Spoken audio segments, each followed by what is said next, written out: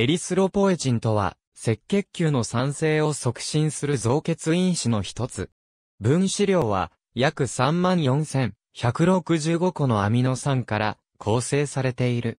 血液中のエリスロポエチン濃度は、貧血、多血症などの鑑別診断に用いられる。人生貧血の治療に主に使用されているが、ドーピングにも使用され、問題となっている。主に腎臓の尿細管間質細胞で生成され、補助的に肝臓でも作られる。多くが腎臓で産生されていることから、慢性腎不全等の腎機能低下状態になると、エリスロポエチンの不足により腎性貧血に陥る。なお、近年までエポの酸性部位について議論があり、防止球体装置や筋尿細管、血管内皮細胞などが候補に上がっていたが、遺伝子組み換えマウスの解析から、尿細管間質細胞と判明した。エリスロポエチンは、骨髄中の赤が球形線具細胞に作用し、赤血球への分化と増殖を促進することが知られている。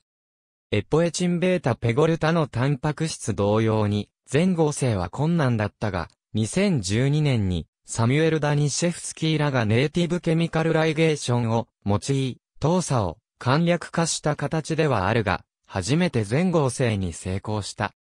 これらのエリスローポエチン類似化合物は、赤血球増血刺激因子製剤と呼ばれる。医薬品としては、エポエチンアルファ、エポエチンベータといった遺伝子組み換えによるエリスロポエチン製剤があり、人生貧血に用いられる。日本では保険適用上、人生貧血にのみ用いられているが、欧米では、各種悪性疾患に伴う貧血などにも使用される。エポエチンベータに、直鎖メトキシポリエチレングリコール分子を科学的に結合させることで長時間の持続作用を実現した製剤も開発されている。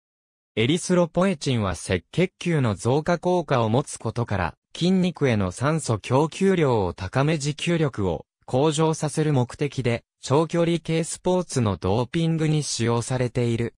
1998年のツール・ド・フランスで発覚した複数チームにまたがる大規模な組織的ドーピング事件で、その存在が大きく取り上げれることとなった。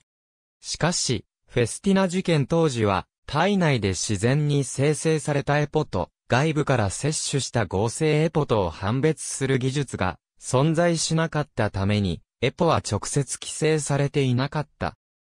規制は、ヘマトクリット値の上限が設定されていただけであり、これだけでは、エポを使用したドーピングを行ったこと自体は、証明されていないことから、ルールとしてのドーピングか否かが問われる事態となり、これ以降の数年間はこの状況に振り回される、選手が現れる始末だった。21世紀に入り検査法が確立されても、エポを使用したドーピングが後を絶たなかった。2006年に行われた大規模なドーピング捜査であるオペラシオンプエルトでは、当時のトップ選手数名を含む20名近くがエポを使用したドーピングを行ったことが明らかになり、2009年にも複数の自転車競技選手からエポを発展させたセラが検出された。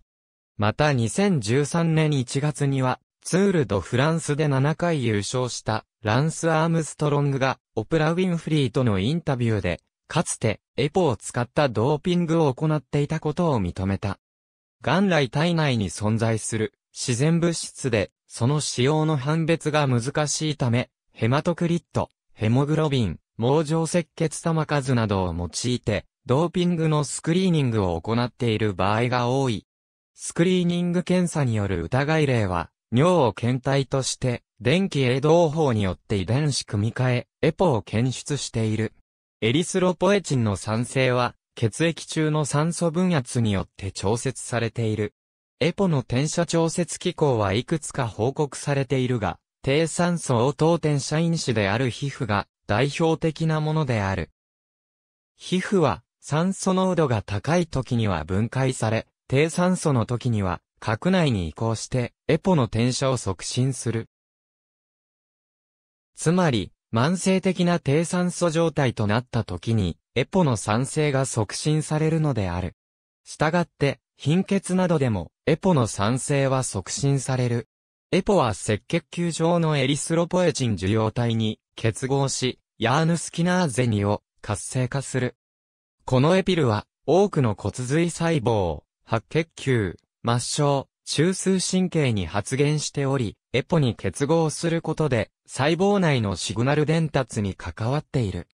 実際には、24、38、83番目の太字の3つの N 残機には、N 結合型動作が、126番目の車体時の S 残機には、大結合型動作が付加しており、分子量ははるかに大きい。また、動作を除去すると、エポの活性はなくなる。さらに7と161番目の C 残機関と29と33番目のシステイン残機関には、ジスルフィド結合が形成されている。ありがとうございます。